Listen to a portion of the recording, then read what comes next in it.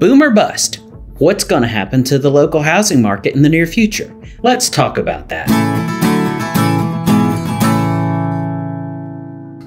I'm Tom Byrd with Keller Williams Realty in Peachtree City, Georgia, and today we are going to discuss what is likely to happen to the local housing market in the near future. We will focus on the area which we primarily cover, that being the south and west portions of the Atlanta metro area. Since shortly after the pandemic started, we saw a great boom in housing prices, and it's only human nature to figure that a big boom is going to be followed by a bust. That's especially true if you owned a house in the late 2000s and lived through the housing market crash of the Great Recession. And it also just does not help that there are doomsayers out there on both social media and in the national media. But I'm going to dive right in and answer the boom or bust question. The answer is neither. Thank goodness. If you've tried to buy a house in the last couple of years, you know how competitive it was. And it's really been a debate how much over the list price do we need to go to even have a chance? Well, that has ebbed somewhat the last few weeks as inflation continues to be at a high level, as well as the rising mortgage rates, making housing less affordable and thus diminishing some of the demand. And now, to look at the supply side, we like to look at how many months of inventory we have in the market. Month supply is calculated simply by dividing the total number of homes that are on the market by the number of homes that sold in a month. A generally accepted definition of the balanced market is six to seven months of supply.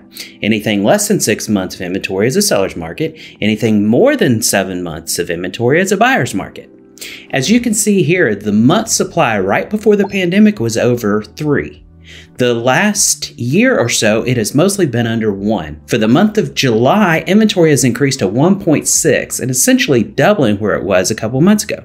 Yet there's still a very long way to go for our inventory even to get to a balanced market. Simply put, we have a shortage of housing supply that just cannot meet demand. Another factor keeping a crash at bay is the unlikely event that we will see a lot of distressed property sales and foreclosures.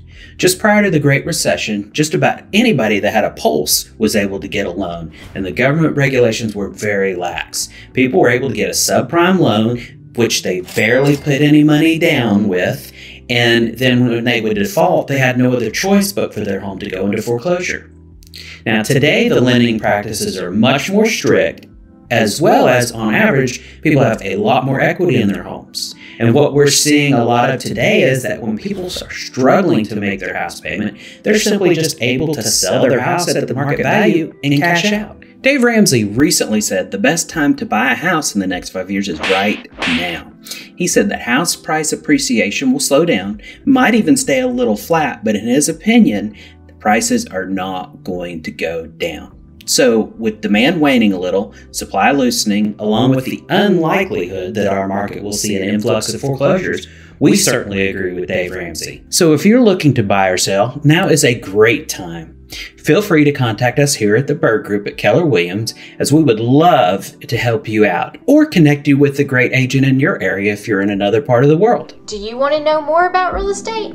Be sure to watch this next video and don't forget to subscribe. That way you'll know when I drop my next video.